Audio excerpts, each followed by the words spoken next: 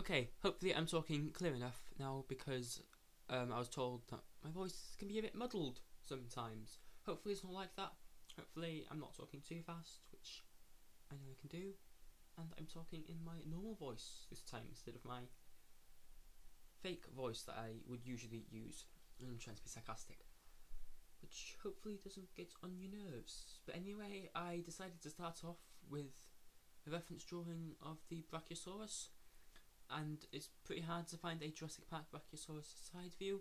And as you know, the regular dinosaurs or accurate real life ones, whatever, they're not exactly, you know, anything like the Jurassic Park dinosaurs. So I couldn't just use a regular um, fossil study by Scott Hartman, I think it is. I don't know if it is him.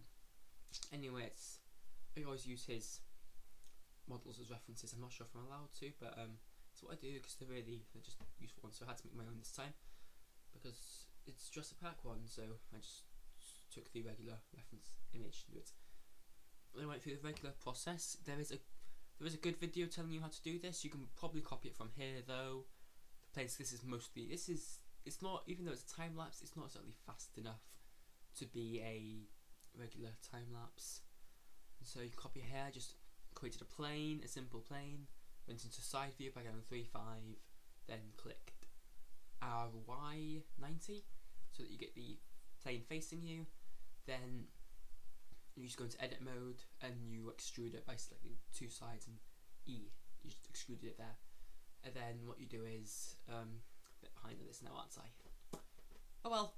And then um, after that, you've got the entire thing set up. You just go into side view one, you move it a bit, and then you go Control A in order to get the center right again. And then you mirror it and then you get this thickness and then what you do is you just select each vertices, move it down, move it up, try and push the model in. Just keep moving it smaller. I would advise not pressing just regular G you know you got like GX, GY, GZ because that means you're getting it perfectly and it's not you don't get random spikes popping up and stuff like that. So that's what I'm doing now. I'm just going through the model. As, as you can see it was very fat in the neck especially. The neck looked really fat at some areas and so I was just going through it editing the neck, smoothing it down, making it a bit thinner, making it a bit rounder, and, you know, not as bulbously large and thick as it was before. Which, you know, kind of makes sense. The Brachiosaurus is a pretty, pretty thick dinosaur, it's pretty wide dinosaur. Although not the biggest, it's it's pretty close. In, you know. Anyway, so I just started doing this. I didn't actually do the crest for the Brachiosaurus yet. Crest head thing. I'm not sure what you call it because it's not quite a crest. It's kind of like a bump more, like a bump or a hump on its head. And so I decided to, I wouldn't, I wasn't going to do that quite yet. I was going to do it at the end because it just cause, cause issues. And then I decided to do the feet. And when you do the, do the um, feet or legs, you need to make sure you're not inside view when doing this entirely. You need to select the plane first because if you're inside view and select the plane, as you'll see here, it will either select all the planes, which is what I did in the, in the second leg, or it will just select the back one and will cause Pomsey to read the entire leg. But then go into side view and then press C and select all the vertices, otherwise you'll only select the one closest to you rather than one behind you, and that obviously is going to cause problems because it's not going to be a straight leg, it's, you know, one side is going to be going downwards, whereas the other side is just flat side. If you can see what I mean, I don't think you do. Is a shame, but then yeah, I just decided to colour it after this because it's easier to see in darker colours than it is to see when you're in brighter colours such as white. And also, you may have noticed a while back I moved into Cycles render, which is a but my I think in general Cycles is a much bit more preferred method of rendering. It's what I always render in.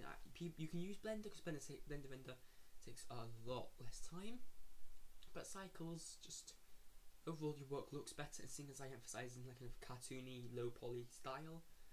I um, decided to move in cycles primarily all the time but it takes a lot lots longer to render which is obviously a problem. And yeah as you can see here I started doing the crest afterwards so I just clipped two faces and extruded them outwards in order to make sure I was getting the right proportions for it. I meddled around with this quite a few times because few times it just ended up looking like a horn on the head, especially here, it just looked like this horn or crest on its head, which didn't quite look right, but eventually I settled on this simple bump design.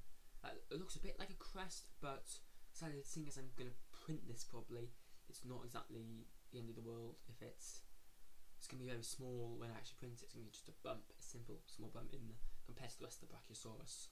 And this is going to be quite a simple design. So now I just went around doing um, the legs out, to make them thicker and wider. Um, what you can do is you could make little bumps on the feet by loop cutting the the um, bottom of the feet. But I decided against doing that because it would just take too much time, and again, you wouldn't really see it on the final model. And then I decided to cut the rigging, but all I did was I set up an armature and rigged it. But this is an incredibly long process, and I decided the video was already long enough. As you see here, I am going through watching the odd Jurassic Park video.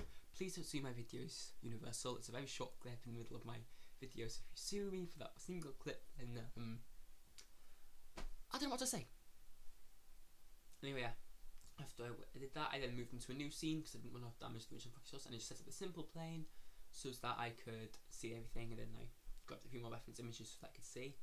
But I set up this cube at the bottom of that was so that I can make sure that the entire thing was level, because otherwise, you know, one leg could be massively lower than the other one. And then smoke was one of the hardest things to figure out with this. And um, what I decided to do was this trick that I saw a lot of people doing was just seeing as this was a very simplistic low poly scene. I figured the best thing to do would be to just create a load of spheres on the place of them rolling about everywhere and all that stuff and so started doing this however soon this video file gets corrupted so